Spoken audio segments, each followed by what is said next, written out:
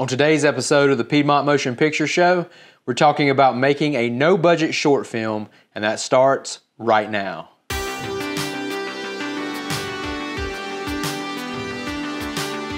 Hey guys, Ryan Camp with the Piedmont Motion Picture Company. Thank you so much for joining me today. This channel is all about learning and growing as a filmmaker, so if that's your sort of thing, please give this video a thumbs up. Please subscribe if you haven't already, and be sure to click that bell notification icon so you don't miss our new videos.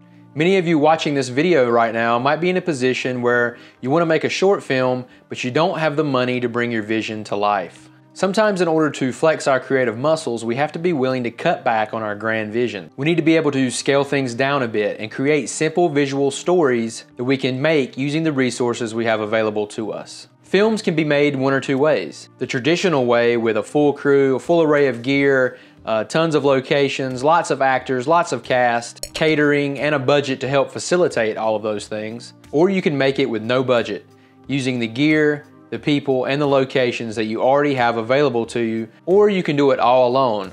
Uh, you can act in your movie and you can film it if you can write a story that works that way.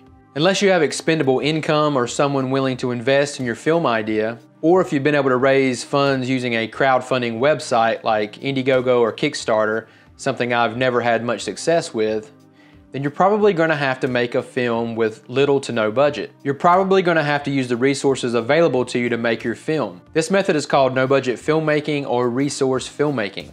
With this method, you're not going to want to start off with a complicated script or storyline, but instead you're going to want to take a look at the resources you have and work backwards, essentially writing a story around what you already have available to you. Okay, let's break it down into a checklist of sorts of everything you're going to need to have in order to get started on your no budget film. First up is gear. Of course, when it comes to gear, you're going to at least need a camera, a tripod, and something to record audio with. Whether your camera is a phone or a cheap DSLR, it doesn't really matter. Lay out all of the gear that you have at your disposal, and that's what you're going to be using to shoot this film. If you have a friend that will let you borrow some gear, awesome. The point is here that we're not going to be spending any money to rent or buy new gear to shoot this film. If you happen to just be starting out and have access to no gear whatsoever and you're looking to get into the hobby, I put together two budget filmmaking kits that you can check out in the description below. One for a budget DSLR kit and one for a budget mobile film kit. So be sure to check those out. It's an affordable way to help get your hobby off to a great start. Up next is crew. You're going to want to write a script that doesn't require a large crew to get the job done something you can shoot by yourself, or maybe with the help of one other person who can work the boom pole for you. Make sure it's someone you trust and someone who might have an interest in maybe learning filmmaking along with you. But the most important part is someone that's willing to work for free. Ask your friends and family if they're interested in helping you, and hopefully you can find someone to help you out if you need it. But if you really want to keep things simple, just work out a way to shoot the film all by yourself. Next up is casting. Since we're shooting this film with no money, we're not going to be hiring professional actors or holding casting calls. Unless you have a friend that is a professional actor that is willing to work for free, or you have a huge line of people just waiting to be in your film. But chances are you're going to need to take a look at the people that are part of your daily life. Family, close friends, or maybe some acquaintances on social media that may be interested. Look at those people, send them a direct message if you have to, give them a call on the phone, or you can post on social media asking for a show of hands of people that might be interested.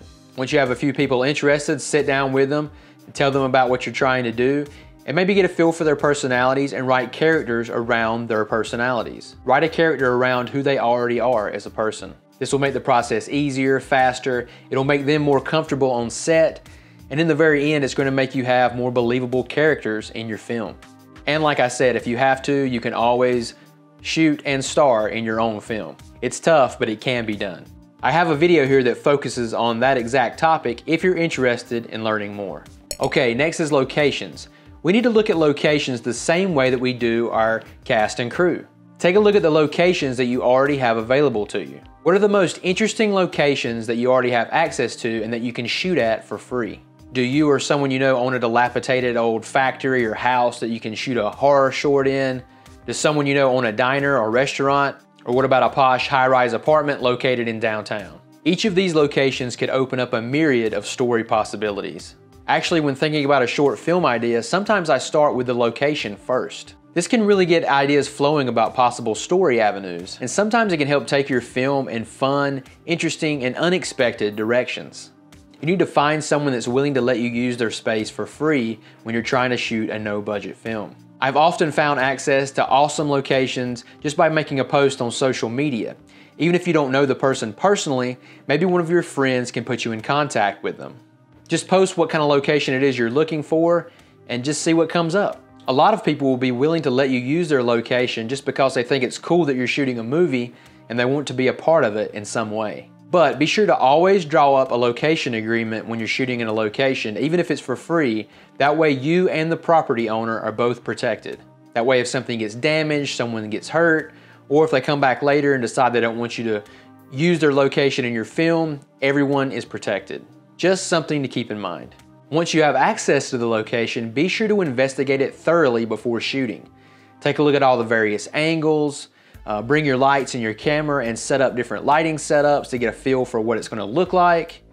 And if you have time, you can bring your camera and take photos or video and use them in storyboarding or just um, conveying mood to your cast and crew. Once you have your gear, locations, cast and crew all laid out and ready, now it's time to start writing a story around all of these things. Remember to keep it short and simple and not to use too many characters or locations. Try not to write anything that's going to require a lot of special effects work or rigorous editing in post-production. You want to create a simple premise with a simple conflict and resolution. Remember to write characters around the people that are available to you. Write characters that match their personalities and use their natural strengths to make them more believable. And remember to write a story using the locations that are already available to you and nothing more. And there you have it guys. I think if you follow these steps, you're gonna be able to put together a great no budget short film that you can be proud of. All right, question of the day. Have you ever made a no budget short film? If so, what sort of challenges did you face? Let us all know in the comments below. Before we go, I'd like to give a special thanks to the patrons that made this video possible. Ethan B, Richard H, Ben K, and Ashley S. Thank you guys so much for your continued support. And if you would like to help support the channel like they are, you can find the link to our Patreon page in the description below. As always, I hope this video has been very beneficial to you, and if it has, please give it a thumbs up, and please consider subscribing if you're not already. Thanks for coming along this filmmaking journey with me. I am Ryan, and I will see you on the next Piedmont Motion Picture Show.